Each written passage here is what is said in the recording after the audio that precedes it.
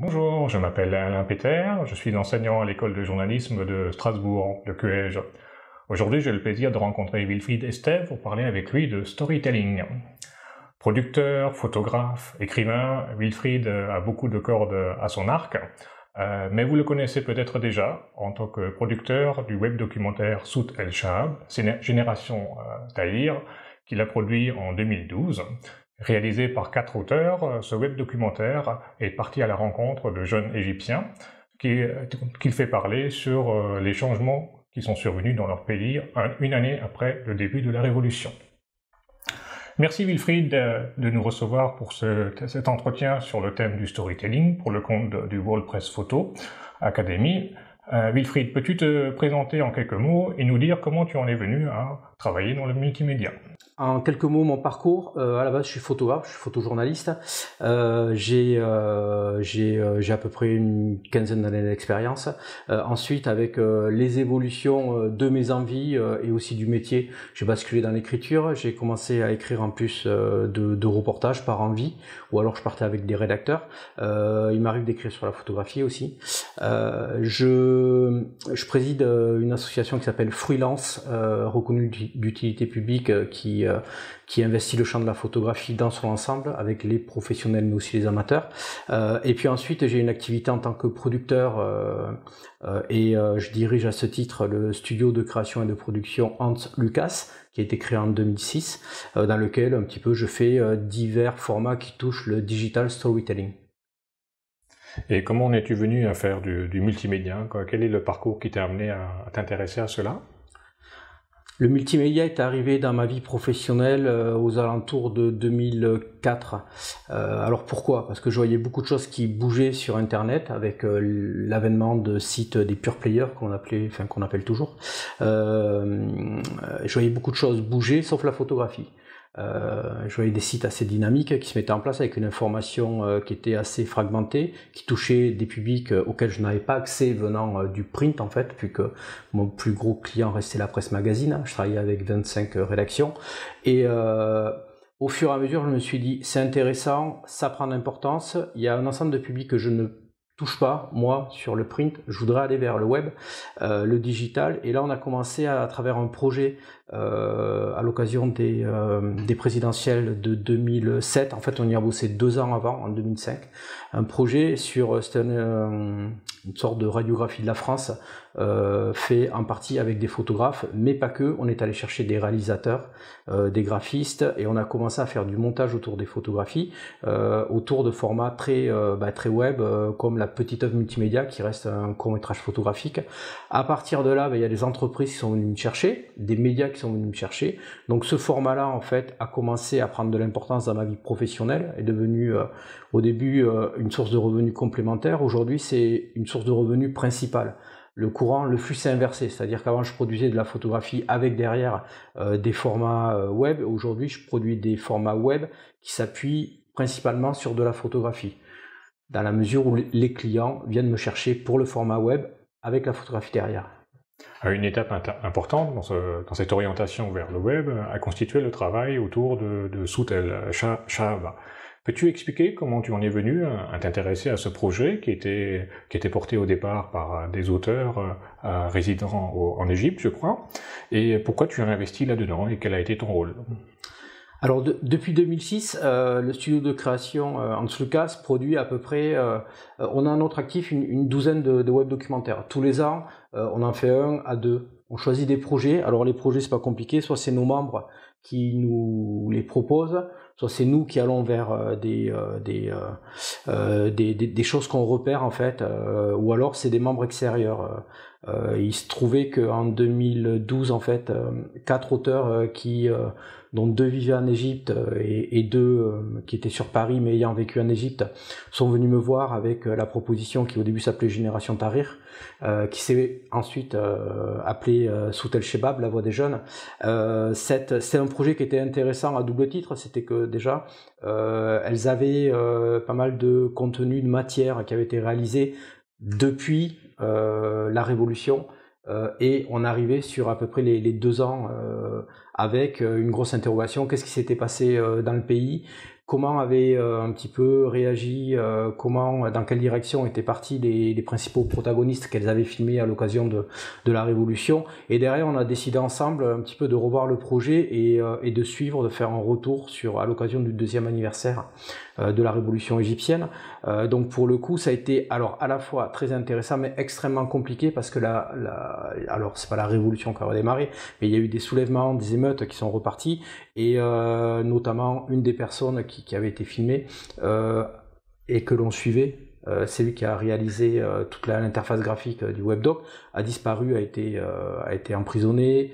Enfin, il y a eu un contexte un petit peu particulier. Après, la, production, en fait, c'est été intéressante dans le cadre d'une double production qui s'est fait avec France Culture, on a produit un 52 minutes, un documentaire sonore cette fois. On est très dans des, euh, des, productions d'environnement euh, trans, euh, transmédia multi-support, c'est-à-dire que nous on repère des projets qui peuvent aller, euh, qui peuvent aller ailleurs que sur du web, notamment bah, la radio, la BD aussi. la presse évidemment, mais aussi l'exposition, ou alors des séries télévisées, on en a déjà réalisé en fait. Et actuellement, tu travailles sur quel projet? Alors actuellement, en fait, euh, on est trois dans le studio, euh, chef de projet euh, sur du, du webdoc. moi, je travaille sur un projet qui s'appelle Scare of Cambodia, les cicatrices du Cambodge, qui va être un, documentaire, c'est un 26 minutes qui a déjà été réalisé, qui est muet en fait. et derrière, on est en train de réfléchir à un dispositif web en fait, digital. Et après, sinon, on a deux autres webdocs en cours aussi. Ça, ça va, ça vient les projets en fait qui est intéressant, c'est que c'est, il y a beaucoup de propositions, euh, il y a des écritures qui s'affirment de plus en plus, et il y a aussi des médias qui ont, euh, qui sont assez demandeurs, parce que cette, cette logique en fait de, de, de, produire pour le web a aujourd'hui épousé un ensemble de, médias. C'est-à-dire qu'aujourd'hui, quand on regarde les radios en France, les radios produisent du webdoc ou diffusent du webdoc. Euh, les télés aussi, les, les pure players aussi, euh, la, presse aussi s'en accapare. Donc c'est assez intéressant pour nous, cette transversalité qui existe dans la production et la diffusion. Venons-en plus spécifiquement à l'aspect du, du, storytelling que tu enseignes aussi euh, à des étudiants dans différents euh, lieux de formation.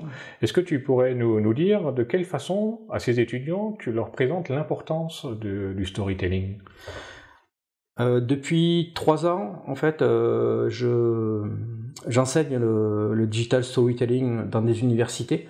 Euh, il y a Marne-la-Vallée, il y a aussi Montpellier sur un cursus cinéma. C'est intéressant en fait. J'ai plein de profils différents qui arrivent. Sur Marne-la-Vallée, c'est on est dans le métier et culture du web, donc c'est que du digital. À Montpellier, c'est Paul Valéry 3 où c'est des gens du cinéma et de l'audiovisuel. Et ensuite, on a on a monté un diplôme universitaire à Perpignan qui s'appelle euh, photographie documentaire et écriture transmédia où là, c'est un public de photographes. Alors Sinon, j'enseigne de manière euh, plus euh, à, des photographes euh, ou à des spécialistes qui viennent pour, un petit peu s'affirmer dans une écriture, mais c'est une spécialisation depuis 2006, ces écritures-là. Donc c'est pas nouveau. Ce qui est intéressant, c'est de voir que c'est un format qui bouge énormément. C'est-à-dire qu'il y a eu les pommes, il y a eu la vidéographie, il y a eu le webdoc, Aujourd'hui, il y a le slow journalisme. On est dans une, un environnement qui est très malléable, qui est protéiforme, euh, qui, qui dépend aussi beaucoup des, des, des, logiciels, des outils, des solutions qui peuvent être apportées et qui font qu'aujourd'hui, avec aussi euh, l'avènement euh, de la téléphonie mobile, des smartphones, on retrouve une information vraiment partout. Donc les écritures qu'on va, euh, qu'on va enseigner, euh, nous, nous, on ramène tout à des, à des cœurs de métier. C'est-à-dire que Aujourd'hui, il faut qu'il y ait euh, une histoire qui soit extrêmement forte en termes d'éditorial. Après, au niveau de la solution euh, qui va être et du, support sur lequel il va arriver, euh, l'ergonomie va un petit peu bouger. Mais nous, on travaille beaucoup sur sur l'éditorial, c'est-à-dire que s'il n'y a pas une histoire forte, on ne pourra rien espérer derrière. On va pas faire du webdoc, des pommes ou de la vidéographie ou du slow journalisme pour un effet en fait qui, qui, qui va très vite euh, euh, se démoder, qui va faire que la, la, production va mal vieillir. Moi, quand je regarde nos productions, euh, je, je, je, trouve qu'éditorialement ça tient la route et que même s'il y a des, de l'ergonomie, des navigations, des manières de, de entre guillemets de, de jouer avec euh, le une trame narrative et des interactions, on est toujours assez, enfin droit dans les bottes au niveau de l'information. Pour moi, c'est le plus important. Donc, ce qu'on enseigne en premier, c'est vraiment euh, c'est beaucoup de modules liés sur, euh, l'information, que ce soit de la veille, sur la manière de composer, de raconter une histoire, euh, de l'anglais, de, de, réfléchir en termes de, de format, c'est-à-dire qu'est-ce que je vais faire en photo, qu'est-ce que je vais faire en vidéo. Mmh. Et, et à partir de là, on, on enchaîne un petit peu des modules.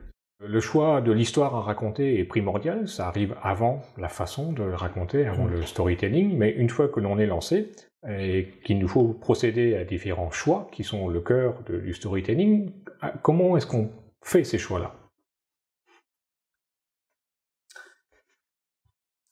Alors, euh, une histoire sur, euh, que ce soit sur le web ou sur, euh, qui, va se décliner sur un ensemble de supports, ça tient à, une, conception en fait.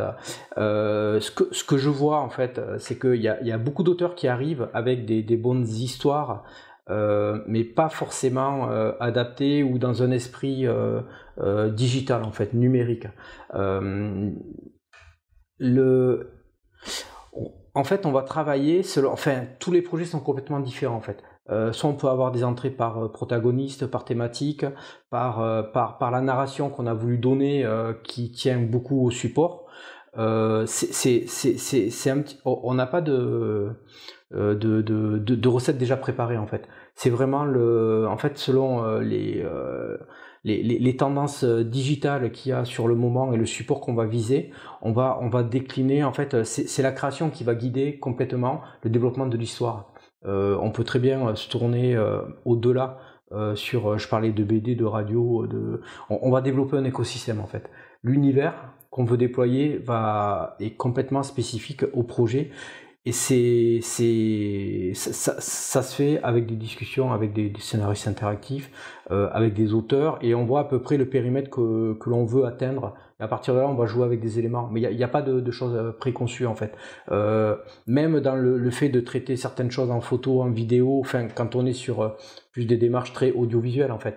Euh, sur les montages, on est très enfin, on est assez libre en fait. On, on, ne veut pas se donner un, un espèce de cahier des charges dans la, la conception en fait. Ça veut dire qu'il n'y a pas un modèle unique à suivre euh. On a, dans toutes les productions qu'on a fait, en fait, il n'y a jamais eu de modèle unique. À chaque fois, on a fait table rase de, des expériences précédentes et euh, à la vue du projet, euh, on a redéfini une narration particulière. Par exemple, le, Scare of Cambodia, sur lequel je suis en ce moment, c'est un, documentaire muet. Il y a un an, on m'aurait dit je vais faire un documentaire muet, j'aurais dit non. Euh, voilà, et j'étais à. C'était pas. C'est imprévisible ce genre de choses. Il se trouve que euh, un personnage euh, a, conditionné avec beaucoup de pertinence ce traitement en documentaire muet. Voilà. Il n'y aurait pas eu ce personnage, on aurait fait autre chose. Une dernière question, Wilfried, pour les participants à la World Press Photo Academy. Peux-tu leur donner un conseil principal euh, dans la réalisation, l'écriture d'un storytelling Alors, un conseil principal, euh, je, vais peut-être dire deux en fait. Euh, alors, le premier, c'est d'avoir un point de vue sur l'histoire affirmé et d'avoir un vrai propos. Donc, c'est quelque chose qui est vraiment très intime et intrinsèquement lié à soi. Euh, il, faut, euh, il faut avoir un, point de vue sur une histoire et ne pas le lâcher, mais un point de vue d'auteur en fait. Euh, on s'éloigne un petit peu du journalisme, hein, on est plus dans, dans une démarche plus affirmée. ensuite, il faut avoir conscience de, de, tout ce que ça sous-entend. quand je dis tout ce que ça sous-entend, c'est que il y a un écosystème, une économie, des, des, acteurs, une équipe, et euh, seul, c'est toujours compliqué qu'un photographe, qu'un auteur, en fait, arrive à se détacher, à prendre du recul par rapport à l'histoire sur laquelle il est. Donc moi souvent en fait je recommande de, d'avoir des, des, des, relations avec d'autres auteurs qui peuvent être un réalisateur, des, des, le son extrêmement important, la réalisation sonore, d'avoir d'aller au-delà de, de, de, de, ce qu'on peut voir et d'avoir les mêmes réflexes pour la photographie que pour le son, de prendre de prendre en fait euh, tout ce, toute cette température sur ce qu'est une production digitale. C'est une équipe, c'est euh, des diffuseurs, c'est des producteurs, c'est effectivement aussi un financement euh, à, à essayer d'équilibrer. De, de, et, euh, et, quand on touche à ça, ça veut dire des relations euh, au-delà du producteur avec un diffuseur sur lequel on se frotte vraiment à des parfois des divergences de, de, de point de vue, parce que le diffuseur va parler lui plus audience et les gens qui viennent sur, sur son site ou autre, alors que l'auteur va être dans une euh, très attaché à son histoire en fait. Merci pour ces conseils, Wilfried. Merci à vous.